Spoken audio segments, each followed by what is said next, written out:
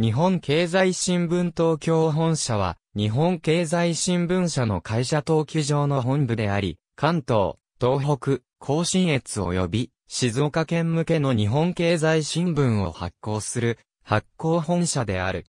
旧日本経済新聞東京本社、日経ビル、手前と JA ビル、経団連開館1876年、三井物産発行で前身の中外物価新報として創刊。当初は不定期間だったが、1885年に日刊、1889年、中外商業新報と改める。1911年に三井物産をはじめとした三井合名会社の出資により株式会社化。1924年から夕刊の発行を開始。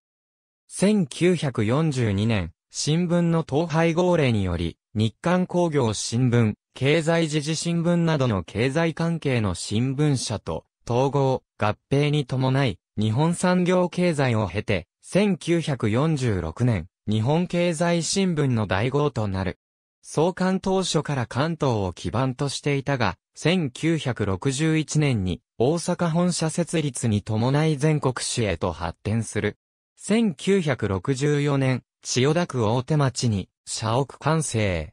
1969年に経営再建中だった東京12チャンネルと包括的な報道協定と主導経営スポンサーに就任。2008年千代田区大手町再開発の一環で新社屋日経ビル完成。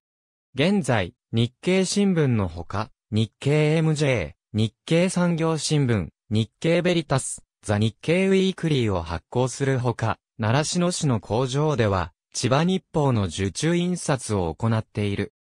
また1992年の東京タイムズの廃刊後は、産経新聞に委託していた、デイリースポーツ関東、東北版の受注印刷を、東雲、新木場の工場で行っていたが、新木場の工場は2006年に、デイリースポーツ発行元の神戸新聞社に身売りし、事実上デイリーの直営工場となった。ただし、神戸新聞社に譲渡後も日経との協力関係は維持している。朝、夕刊とも最終面ではなく中ページに掲載。フルサイズ NHK テレビ、NHKE テレ、日本テレビ、テレビ朝日、TBS テレビ、テレビ東京、フジテレビハーフサイズ以下首都圏 A 版首都圏 B 版。ありがとうございます。